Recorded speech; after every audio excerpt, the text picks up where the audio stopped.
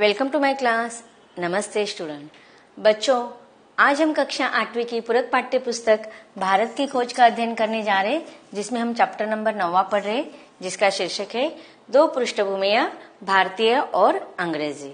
और इस पाठ का यह सेशन नंबर चौथा है। लेखक ने अगले परिच्छेदों को अपने, परिच्छेदों में अपने विचारों को व्यक्त किया है और अगले परिच्छेदों को उन्होंने टॉपिक दिया है उपसंहार। फिर भी वह पुराना सम्मोहन बना रहेगा और उसकी जनता के हृदय को बांधे रखेगा। कि लेखक यहाँ पर कह रहे हैं कि किस प्रकार के जब भारत अपने अस्तित्व को लेकर अपने अतीत से संबंधित है। आज जो वर्तमान में, आज हम जो भी देखते हैं, उसका संबंध अतीत से है।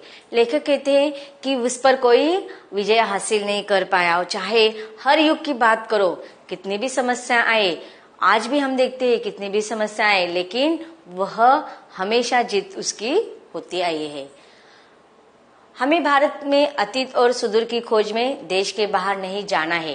लेखक कहते हैं कि भारत के बारे में जब हम पढ़ते हैं तो उसके अस्तित्व के बारे में हमें जब जानकारी हासिल करनी होती है तो उसके अतीत के बारे में, उसकी सुदूरता के, मधुरता के बारे में अगर हमें खोज करना है तो हमें अपने देश में ही उसकी खोज करनी चाहिए। हमें उसको देश के बाहर जाकर उसके बारे में खोज नहीं करना चाहिए।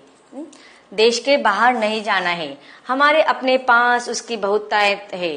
अब देखो भारत के हुँ? हम्म, कौन कौन सी बहुतायत हमें दिखाई देती है? उसकी सभ्यता संस्कृति के अलावा हमें बहुत सारी विशेषता उसकी दिखाई देती है। भौगोलिक दृष्टिकोण से फिर आ, देखते हैं हम भारत के चारों ओर उसकी प्राकृतिक सुंदरता फैली हुई है और इस प्रकार हर क्षेत्र में हमें उसका विकसित रूप दिखाई देता है।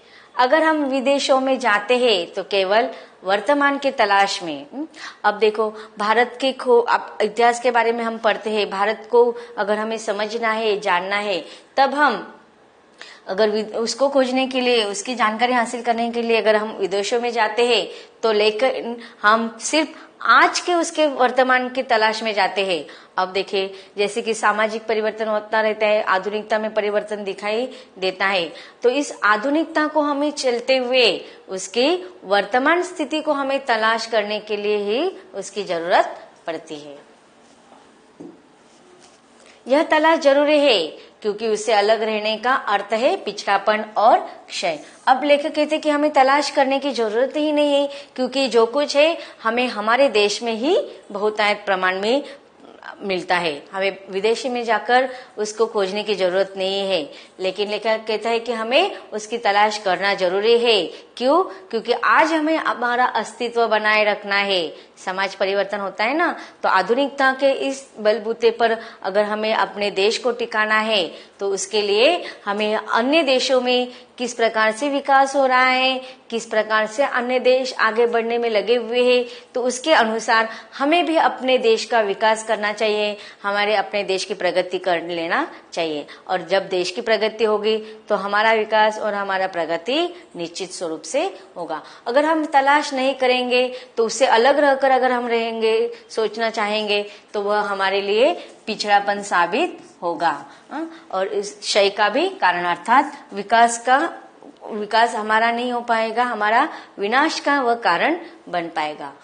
जीवन अधिक अंतरराष्ट्रीय होता जा रहा है। इस आने वाले अंतरराष्ट्रीयवाद में हमें अपनी भूमिका निभानी है। हम्म? अब देखिए, हमारा जीवन है जो हमें अब क्या हो रहा है? अंतरराष्ट्रीय होता जा रहा है। अब देखो, पहले युग में कैसा होता था? हमारा जीवन काल मनुष्य का जीवन सीमित रहता था। एक सीमित समय तक, अर्थात एक समय निश्चित गाँव में रहने वाले जो लोग थे वह किसी अपने गाँव से बाहर नहीं जाते थे। वहीं पर उनको सब सारी चीज़ें मिल जाते थे, इसलिए बाहर जाने की ज़रूरत नहीं पड़ता था। लेकिन आज हम देखते हैं, एक दूसरे से हमारा मिलना जुलना बढ़ गया है। चाहे वह अन्य देशों के लोगों से किसी भी प्रकार से हम मिलते हैं तो इस प्रकार से अंतर्राष्ट्रीयता हमारी बढ़ रही है। इस आने वाली अंतर्राष्ट्रीयवाद में हमें अपनी भूमिका निभानी। तो हमें किसी भी प्रकार से हमें पिछड़ापन नहीं होना चाहिए, हमें पीछे नहीं रहना है, हमें हर क्षेत्र में आगे बढ़ना है।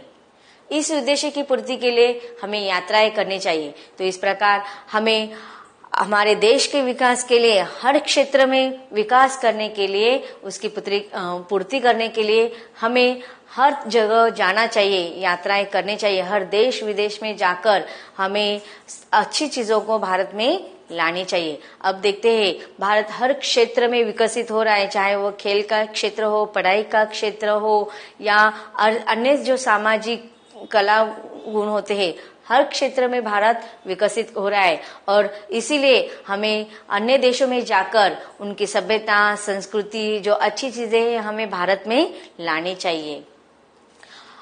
हमें उसके लिए यात्राएँ करनी चाहिए, और से मिलने चाहिए, उनसे भी बहुत सारी चीज़ें सीखना चाहिए। और उन्हें समझना है, लेकिन सच्ची अंतर्राष्ट्रीयता कोई ऐसी हवाई चीज़ नहीं है जिसके न कोई बुनियाद हो और न लंगरगा। अब देखिए, हमें क्या करना है? विचारों में परिवर्तन लाना है, विचारों में आधुनिकता लाना है। बच्चे क्या करते हैं? बहुत सारी चीज़ों को अपने स्वहित के लिए, अपने हित के अनुसार इस्तेमाल करते हैं तो हमें ऐसे नहीं, हमें देश के विकास के लिए परिवर्तन लाना चाहिए। हमें अपने में बदलाव लाना चाहिए, क्योंकि अगर हम बदलाव अब पिछड़ेपन रह जाएँगे तो ना हमारा विकास कर पाएँगे और ना हमारे देश का विकास कर पाएँगे। हम आधुनिकता, आधुनिक शिक्षण की पद्धतियों को अपनाते हैं। लेकिन उसका अब उन शिक्षण को ग्रहण करने के बाद हम विदेश में जाकर नौकरी करते हैं तो इससे क्या हो जाता है? हमारे देश के विकास वहाँ पर रुक जाते हैं। हमें हमारे पास जो नॉलेज है, जो कुछ हमारे पास अच्छी चीज़ें है, हमें उसका इस्तेमाल करके भारत का विकास बढ़ाना चाहिए तो आर्थिकता भारत की बढ़ सकती है। उसे अंतर्राष्ट्रीयवाद को राष्ट्रीय संस्कृति से बाहर निकलना है, और आज वह स्वतंत्रता समानता और सच्ची अंतर्राष्ट्रीयता के आधार पर ही उन्नति कर सकता है। अब देखो, हर क्षेत्र में, संस्कृति के क्षेत्र में, सांस्कृतिकता के क्षेत्र में तो हमें आगे बढ़ना है। बाहर के विदेशों की सभ्यता, संस्कृति को भी अपनाना है, लेकिन जो अच्छी चीज़ें हैं, उनको हमें अपनाना है। जो बुरी चीज़ें हैं, उनको छोड़ देना है। अब बुरी चीज़ें कौन सी? जो हमारे देश के विकास में मार्ग में रुकावट के रूप में आते हैं ऐसी चीज़ों को हमें त्याग देना है। और हमारे देश के विकास में आ, हमारे देश के हर नागरिक के विकास में जो चीज़ें अच्छी लगती है उसको हमें ज़रूर अपनाना चाहिए। आज वह स्वतंत्रता है, समानता है और सच्चे अंतरराष्ट्रीय के आधार पर उन्नति कर सकता है। अब देखिए, उन्नति के बहुत मार्ग हमें मिल गए हैं तो उस उन्नति के मार्ग को हमें अपनाने चाहिए और हमें अपना विकास के साथ, हमारे समाज का विकास और जहाँ पर हमारा समाज का विकास नहीं थे वहाँ पर हमारे देश की उन्नति, प्रगति अवश्य हो सकती है। हम किसी मामूली देश के नागरिक नहीं है। अब देखिए, हमारा जो भारत देश है, कोई मामूली देश नहीं है आ? सब देखा हमने, इस पुस्तक के माध्यम से लेखक ने हम, हमें, हमारे इतिहास को सामने रखा और हमारे देश की सांस्कृतिक, सामाजिक, राजनीतिक, हर क्षेत्र को हमारे सामने रखा। तो हमें गर्व होना चाहिए हमारे देश पर। हमारा देश कोई मामूली देश नहीं है। एक समय ऐसा था कि बहुत सारे विदेशी आक्रमक आकर हमारे देश पर कब्जा करना चाहते थे। जब, अब जिस तरह से वह हमारे देश पर कब्जा करना चाहते थे तो हमारा देश मामूली था, उस समय भी नहीं। नहीं हमारे देश, उस समय मामूली था, और नहीं आज भी हमारा देश मामूली है। हम इस देश के नागरिक है, और हम ऐसे देश के नागरिक है, इसके लिए हमेशा हमें गर्व होना चाहिए।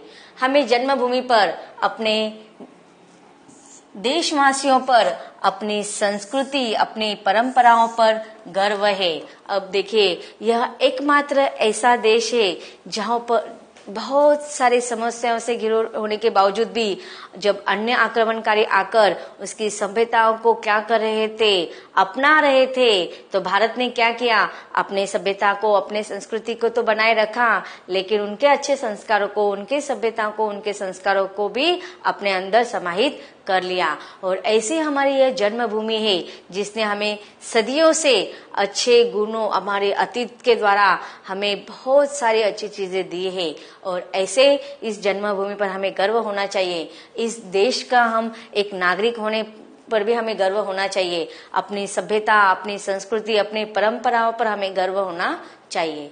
यह गर्व किसी ऐसे रोमांचक अतीत के लिए नहीं होना चाहिए, जिसे हम चिपटे रहना चाहते हैं। नहीं अपने ढंग से भिन्न और ढंग के, ढंग को समझने में इसे कोई कठिनाई होनी चाहिए। अब देखिए, कोई कहता है, इसीलिए हमें देश पर गर्व नहीं करना चाहिए, बल्कि हमें भावनिक रूप से, अंतरतम से इस पर गर्व करना चाहिए। जिसे हम चिपटे रहना चाहते हैं, अपने ढंग से भिन्न और औरों के ढंग से समझने में इसे कोई कठिनाई नहीं होनी चाहिए। तो देखो, यह एकमात्र ऐसा देश है कि उसमें कोई भी अतीत उसका छिपा नहीं है। जो कुछ है पारदर्शक जैसे जिस प्रकार कांच से सब ट्रांसपेरेंट होता है उसी प्रकार हमारा देश भी किसी भी प्रकार से कठिनाई को समझने में दिक्कत नहीं लाता है बल्कि वह बहुत आसानी से हम अप, उसको अपना सकते हैं। चाहे वह सभ्यता संस्कृति हर चीज़ों को हम अपना सकते हैं। तो इस प्रकार लेखक कहते हैं कि हमें अपने देश पर इस देश के नागरिक होने पर हमेशा गर्व होना चाहिए। इसके कारण हमें अपनी कमजोरियाँ और असफलताओं को कभी भी नहीं भूलना चाहिए और नहीं उनसे छुटकारा पाने की हमारी इच्छा कुंठित होनी चाहिए। अब देखिए लेखक कहते हैं कि इस देश पर हमें गर्व होना चाहिए, लेकिन जो हमारी कमजोरियाँ हैं, जो हमारी असफलता है, उनको हमें भूलना नहीं चाहिए। और उनसे छुटकारा पाने के लिए हमारे इच्छा कुंठित नहीं होनी चाहिए। अब देखिए, बहुत सारे लोग ऐसे होते हैं कि वह चाहते कि भारत बहुत पिछड़ा हुआ आज भी देश माना जाता है, और इसीलिए वह अन्य देशों में जाकर रहते हैं। तो इस प्रकार की कुंठित इच्छा हमारे अंदर नहीं होनी चाहिए। इससे पहले कि हम मानवीय सभ्यता और प्रगति की गाड़ी में औरों के साथ अपनी सही जगह ले सके।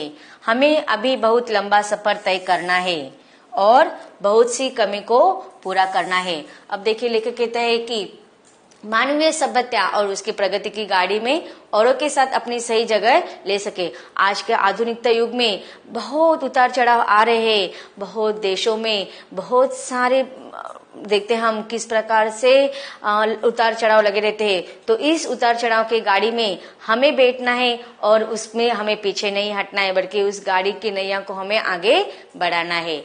हमें अभी बहुत लंबा सफ़र तय करना है। इस देश के विकास में हमें बहुत लंबा समय तय करना है। और इसके साथ साथ जैसे कि देखो, अच्छी और बुराई। हमें अच्छता, हमारे देश में जो अच्छी बातें हैं, उसका तो हमें गर्व है, लेकिन जो कमजोरियाँ हैं, जो बुरी बातें हैं, उनको, उन कमजोरियों को, उन बुरी बातों को हमें समाप्त करना है। उन कमजोरियों को हमें सही अर्थ देकर उसके क्यों कमजोरियाँ हैं? कौन कौन सी उन कमजोरियों के कारण है? उनके मूल तक जाकर उसे पूर्णतः नष्ट करने की कोशिश करना है। तो यह सफ़र हमारा लंबा है और हमें आगे, इस सफ़र में आगे बढ़ना है और बहुत सी कमी को हमें पूरा करना है।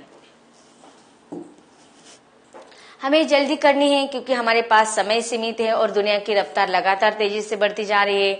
अतीत में भारत दूसरे संस्कृति का स्वागत करके उन्हें आत्मसत कर लेता था। अब देखिए लेखक, यह चीज़ें सब कब लिख रहे जब वो अहमदनगर के किले में थे। तो लेखक कहते हैं कि अब ऐसा भारत की निर्मित करनी है हमें तो उन्होंने अपने सारे विचार यहाँ पर व्यक्त किया है कि अब हमारे सामने पास बहुत कम समय है और दुनिया तो विकास के क्षेत्र में रफ्तार से आगे बढ़ रही है, लेकिन हमारे भारत को भी उस रफ्तार में हमें आगे बढ़ाना है। भारत दूसरी संस्कृति का स्वागत करके उन्हें आत्मसात कर लेता था। भारत की यह विशेषता थी कि दूसरी संस्कृतियों का वह हमेशा स्वागत करता है और अपने देश में वह समन्वय करके उसे आत्मसात कर लेता था। आज इस बात की कहीं अधिक आवश्यकता है, क्योंकि हम भविष्य की उस एक दुनिया की तरफ़ बढ़ रहे हैं, जहाँ राष्ट्रीय संस्कृतियाँ मानव जाति की अंतरराष्ट्रीय संस्कृति में घुल जाएगी। अब देखो, लेखक कहते कि विकास के क्षेत्र में हमें आगे बढ़ना है। हमें बहुत सारी संस्कृति को आत्मसात तो कर लेती है भारत, लेकिन एक ऐसी दुनिया जहाँ राष्ट्रीय संस्कृतियाँ मानव जाति के विकास में अंतरराष्ट्रीय संस्कृतियों से घुल जाती है। अब हमारी सिर्फ़ ये संस्कृतियाँ जो राष्ट्रीय संस्कृति के रूप में ही नहीं, बल्कि अंतर्राष्ट्रीय संस्कृति के रूप में घुल मिल गई है। हमें जहाँ भी समझदारी ज्ञान मित्रता, सहयोग मिलेगा, हम उसकी तलाश करेंगे। हम सामूहिक कामों में सबके साथ सहयोग करेंगे। अब देखिए किस प्रकार से हमें अपना, अपने समाज का, अपने देश का विकास करना है कि जहाँ भी हमें कोई अच्छे ज्ञान मिलता है, समझदारी से हमें काम लेना है कि जो हमारा जिसमें भला होता है, हमें मित्रता के साथ सहयोग करके, एक दूसरे के सहायता करके हमें आगे बढ़ना है। वही उसकी तलाश करेंगे और सामूहिक कामों में सबका साथ देंगे। सामूहिक कामों में, सामाजिक विकास में हमें एक दूसरे के साथ रहना है और एक दूसरे की मदद करना है। लेकिन हम दूसरों की कृपा और सहारे के प्रार्थी नहीं है। हम इतने मज़बूत है, हमें इतनी हिम्मत है कि हम खुद का, अपने समाज का और अपने देश के विकास के लिए हम किसी पर डिपेंड नहीं रह सकते। हम किसी के कृपा के और सहारे के अभिलाषी नहीं है। इस तरह हम सच्चे भारतीय है और एशियाई होंगे और साथ ही एक अच्छे अंतर्राष्ट्रीयवादी और विश्व नागरिक होंगे। तो इस प्रकार हमारे देश को अंतर्राष्ट्रीयवादी और एक विश्व में एक बेहतरीन देश के नागरिक होने पर हमें गर्व रहेगा।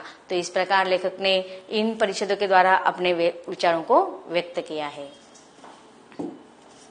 देखते हैं कठिन परिषदों का, शब्दों का अर्थ। अपराजय जिसे पराजित न किया जा सके। जागरूक हर प्रकार की समझ रखना। बहुतायत, बहुत अधिक। रोमांचक, रोमांचित करने वाला। आत्मसात अपने में समाहित करना। तो बच्चों, इस प्रकार भारत की खोज इस पुस्तक के द्वारा लेखक ने हमें भारत के सांस्कृतिक, सामाजिक, राजनीतिक हर क्षेत्र का हमें विस्तार से जानकारी दी। यह पाठ यहीं पर खत्म होता है। धन्यवाद।